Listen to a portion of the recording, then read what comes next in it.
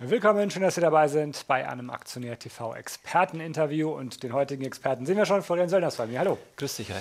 Viele Themen hast du uns heute wieder mitgebracht. Wir starten gleich mal mit dem großen Thema Wasserstoff in die Sendung. Plug Power. Es gibt einen neuen Kooperationsvertrag mit Lightning Systems, heißt der Konzern, glaube ich. Um was geht es genau? Was macht Lightning Systems? Was machen die beiden zusammen? Was wir machen, das sieht man schon hier. Man macht hier Antriebe eben für größere LKWs. Plug Power hatte schon letztes Jahr überraschend hier mit DHL-Transportern Brennstoffzellen geliefert, die ersten 100. Und wir haben ja DHL nachgefragt damals, die sagten, eigentlich ist hier die Kostenparität erreicht bei den Diesel, die Betriebskosten sind so niedrig. Da ist schon mal die Fantasie von 100 vielleicht auf alle 100.000 Vans zu gehen von DHL. Das ist das eine. Und jetzt eben geht man einen Schritt höher, eben auch für größere LKWs, für schwere LKWs ein Brennstoffzellensystem entwickelt und gemeinsam mit Lightning kann man dann in Kombination mit der Batterie so ein Produkt anbieten künftig. Sehr spannend und Hauptprodukt was auch sehr schnell wächst, aber gerade ein bisschen vielleicht Gegenwind bekommt, ist eben für Automobilhersteller oder für Amazon eben solche Gabelstapler. Wir wissen ja, wir kommen gleich nochmal zur Automobilbranche, ist gerade richtig schwierig, 90 Prozent Einbrüche, zuletzt in China etwa beim Verkauf. Aber Black Power zeigt, dass man die ganze Bandbreite von Wasserstoff anbieten kann. Jetzt nochmal die Bundesumweltministerin gesagt, man will so schnell wie möglich den Wasserstoff hochlaufen lassen. Also es gibt weltweit Rückenwind für das Ganze. Wir hatten jetzt auch mal ein paar Einbrüche die letzten Tage, aber Plug Power ist eine der stabilsten Aktien, haben wir im Depot 2030 und haben hier auch nicht dran gerührt, lassen die Gewinne laufen. Und selbst Plug Power-Chef Andy Marsh, den wir zuletzt im Interview hatten, im Aktionär auch, der uns gesagt hatte, man hat exzellente Beziehungen zu BMW, Mercedes hofft hier auf weitere ähm, Aufträge, gerade hier für äh, Fabrikfahrzeuge. Eben Andy Marsh hat selbst nochmal für rund eine Million Aktien jetzt gekauft, also ein Vertrauensbeweis, schön im Aufwärtstrend und relativ stabil. Es gibt andere Wasserstoffaktien, die hat es ein bisschen schärfer erwischt.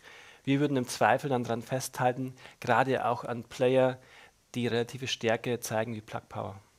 Du hast die trotzdem scharfe Korrektur ja gerade erwähnt. Wir schauen jetzt noch auf Ballot Power. Es haben ja viele, es hat ja viele so, äh, Wasserstoffwerte erwischt und ihr habt ja im Depot 2030 sehr viele Werte auch drinnen, die sich um das Thema Wasserstoff drehen. Hat dich das jetzt zuletzt ein bisschen unter Druck gesetzt zu agieren oder wie geht ihr da jetzt vor? Also wir wissen ja, was wir machen und was wir drin haben. Wir haben beispielsweise derzeit rund ein Drittel Cash. Wir haben bei vielen Wasserstoffaktien immer wieder auch mal Gewinne mitgenommen. PowerCell die Hälfte realisiert, Ceres alles realisiert.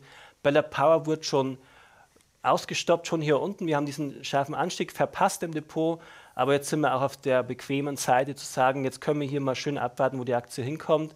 Hier wir ein bisschen eine schärfere Korrektur gerade, ist auf der Empfehlungsliste bei uns, nicht im aktiven Depot derzeit, aber unbedingt eine Aktie, die wir beobachten, vielleicht mal einzusammeln jetzt die nächsten Tage. Ähm, wir hatten ja auch mit dem Chef hier ein Interview gemacht mit Bella Power und jüngst noch mal die Meldung gesehen, dass hier ein Startup aus Deutschland, HPS, eben jetzt startet, die ersten Wasserstoff-Smart Homes auszurüsten, eben mit Power-Brennstoffzellen, hatte HPS uns im Interview auch gesagt, mal sehr überzeugt von der Qualität dieser Zellen. Auch das wird ein richtig starker Markt. Wie gesagt, wir warten hier mal ab, kaufen noch nicht aktiv ins Depot, aber ganz klar auf der Watchlist bei uns. Tesla, machen wir mit dem Thema weiter. Im April habe ich gelesen, könnte es da spannend werden. Investorenveranstaltung Batterietag, wie das Ganze genannt wird. Was kann man sich davon erwarten? Die Batterietechnologie ist ja sehr wichtig. Beispielsweise als Jeffy ist auch das Kursziel zwar angehoben auf 800 Dollar, aber das Rating von Kaufen auf Hold zurückgenommen, weil man sich das eben genauer angucken will, gemeinsam mit Panasonic, wie weit ist man im Bereich Batterie und wie ist das Marktpotenzial im Bereich Batterie und wie ist vor allem das Marktpotenzial bei den Autos. Spannend wird die Vorstellung oder die Auslieferung des Model Y jetzt ab März. Wir hatten ja auch gesagt, Gewinne grundsätzlich kann man mal eine Restposition laufen lassen, hat der Aktionär ja gut empfohlen gehabt, die Aktie, aber ab 1000 Dollar wird es dann wirklich eng und spannend.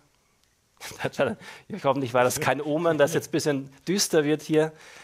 Wie gesagt, sehr teuer bewertet, auch sehr spannend. Man hat sich auch relativ stabil gehalten, muss man mal sagen, in diesem Markt. Also Daimler und BMW-Aktien, die Charts sind zerstört, kurzfristig. Die sehen schlimmer aus als Tesla. Das hat sich noch relativ gut gehalten.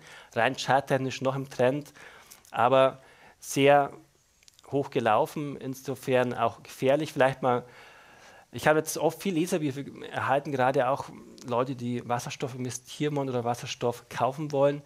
die Frage nach der Blase bei Aktien wie Tesla und Co., ich habe jetzt einen geantwortet, wir hoffen natürlich das Beste, aber wir rechnen mit ein, ich bin ja auch schon ein paar Jährchen dabei, damals schon zur Jahrtausendwende den Internetboom und Crash mitgemacht, Solarbereich mitgemacht, haben wir gleich nochmal extrem nach oben, extreme Korrekturen, wenige haben überlebt, aber die richtig.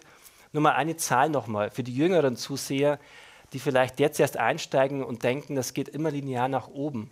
Amazon zum Beispiel, eine richtig geile Erfolgsaktie sozusagen, die hat 2001 im Internet-Crash mal 98 Prozent verloren und korrigiert, um danach dann über 40.000 Prozent zu steigen. Also da ist wirklich gerade bei solchen Hypes in alle Richtungen sehr, sehr viel möglich. Immer handlungsfähig bleiben, immer ein bisschen Pulver trocken halten, nie all in, schön verteilen auf alles und vor allem solche Positionen aktiv managen, nicht Augen zu und durch, würde ich nicht bei jeder dieser Aktien empfehlen. Anfang der 2000er war ich noch nicht quasi live mit dabei, aber in den zwölf Jahren, wo ich es bin, habe ich auch schon sehr viel hin und her miterlebt, was die Solarbranche angeht.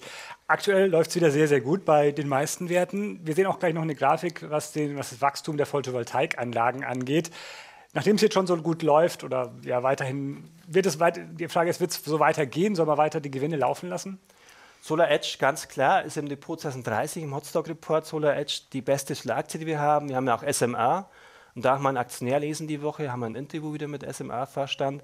Und SMA Solarvorstand selbst, der uns immer wieder gesagt hat, wir sind sehr, sehr stark bei Großanlagen, der hat den Hut gezogen vor den Erfolg von Solar Edge. Ich bin gestern mal durch die Siedlung bei mir, wurde eine neue Solaranlage gebaut. Ich bin ja nicht gleich hin, ich interessiere mich ja für Solar, mit dem Installateur gesprochen, den ich ja schon länger kenne. Und der hat mir gesagt, mittlerweile baut er 90 Prozent der Anlagen mit Solar Edge Wechselrichtern und vor allem auch mit Optimizern.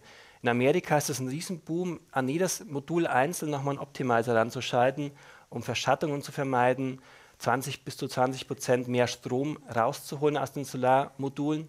Und das ist natürlich ganz da in Deutschland auch angekommen. Das sagt SMA, bietet das auch an, aber ist noch nicht, lange nicht so einfach wie das Solar Edge System. Das boomt, wir haben es gesehen, um 60 Prozent die Umsätze gesteigert. Daher jetzt nochmal der Ausbruch und wir halten auf jeden Fall an so einer Gewinneraktie fest im Depot 2030, zumal wir ein KGV von 25 haben. Ist günstig in diesen Zeiten. Wir lassen ganz klar die Gewinne laufen und haben jetzt sogar nochmal eine neue Solaraktie dazugekauft ins Depot. Die folgt dann jetzt, wenn ich richtig informiert bin, Jinko Solar. Genau, Jinko Solar ist auf der Empfehlungsliste schon seit einigen Monaten. Wir haben ja einen schönen Turnaround gesehen und hier vor allem nochmal schönes hohes Handelsvolumen über die Signallinie und hält sich auch relativ gut in diesen Tagen auch nochmal ins aktive Depot 2030 gekauft, weil Solar natürlich den, und Photovoltaik den Vorteil hat, natürlich nicht so konjunktursensibel zu sein wie andere Branchen. Automobilbranche gerade schwierig. Da ist natürlich die Sonnenbranche nicht so betroffen und ist ein schöner Ausgleich dazu, weil es eben nicht so korreliert.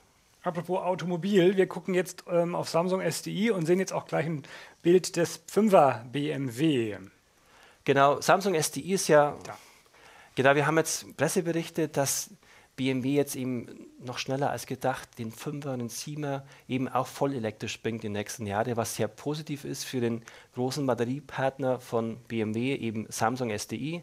Auch Kettle liefert Batterien, aber gerade, ich hatte gesprochen, BMW für in, in Deutschland produzierte Autos liefert dann hauptsächlich Samsung SDI, die ja die Produktion zwischen 2018 und 2021 vervierfachen. Also da geht es richtig los bei Samsung SDI. Und die Aktie, wenn ich den Chart noch mal kurz sehen, wir hatten ja, glaube letzte Woche darüber gesprochen, dass wir grundsätzlich daran festhalten, aber es natürlich immer nach unten gehen kann. Kam schneller als gedacht. Wir hatten tatsächlich am Freitag mal ein Drittel der Position für unsere Leser empfohlen rauszunehmen im Depot 32. Am Gros der Position halten wir fest und jetzt kommt eben das Niveau, wo tatsächlich wieder eine Nachkaufgelegenheit entsteht. Wie gesagt, günstig bewertet das gibt diesen Batterieengpass. Jetzt jüngst wurde der Audi e-tron nochmal gestoppt, das zweite Mal, ganz aktuell, weil man nicht an Batterien kommt. VW kauft hauptsächlich von LG, aber eben auch ähm, Lieferant ist Samsung SDI. Gut möglich, dass man da jetzt noch mehr Chancen hat, für Samsung SDI zu liefern. Die Margen dürften stark sein, wenn zu wenig Batterien da sind. Topmanager aus der Automobilbranche hatten gesagt, die Batteriepreise fallen leider aktuell nicht mehr für Elektroautobatterien, sondern sind stabil bis steigend, klar, weil es zu wenig gibt. Top-Umfeld. Insofern ist diese Krise, die wir sehen, man muss sagen, Samsung SD ist ja in Korea. Auch da sind, ist die Corona-Aktivität leider gestiegen. Muss man beobachten. Aber ich denke, das Leben geht weiter, insbesondere für Samsung SDI. Insofern sind wir hier eher auf der Kaufseite jetzt wieder.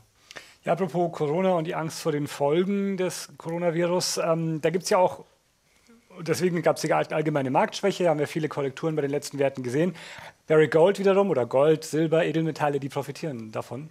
Genau, wir hatten ja, oder wir haben ja die Turnaround-Formel, du weißt, wir scannen da quasi täglich tausende Aktien nach diesen Charts, die ein bisschen seitwärts laufen oder unten liegen, vergessen wurden und dann anlaufen.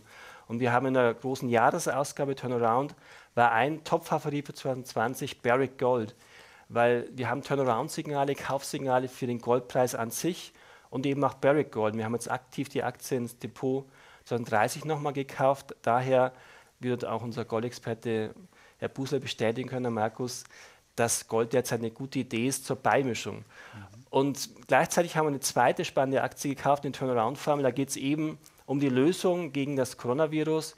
Laut Bloomberg hat jetzt ein Assistant Director der WTO gesagt, WHO gesagt, dass es im Prinzip eine eine Firma gibt, die ein Medikament in der Pipeline hat, was hier die Lösung bringen kann. Das ist die, die wir jetzt aktiv gekauft haben und so sollte ein Turnaround-Chart aussehen, liegt jahrelang unten unbeobachtet. Da kommt plötzlich Handelsvolumen rein. Wir, sind, wir haben die Aktie gekauft schon letzte Woche, bevor dieser Ausbruch so deutlich wurde. Da wusste das System quasi wieder ein bisschen mehr als wir oder früher als wir. Ist jetzt schon hier die Aktie. Einfach mal nachlesen, der Turnaround-Formel ist eine gute Idee, gerade in schwierigen Märkten, weil in schwierigen Märkten der Backtest zeigt, ist ein System, was auf Aktien setzt, die von unten kommen, nicht von oben noch besser gegen den Gesamtmarkt.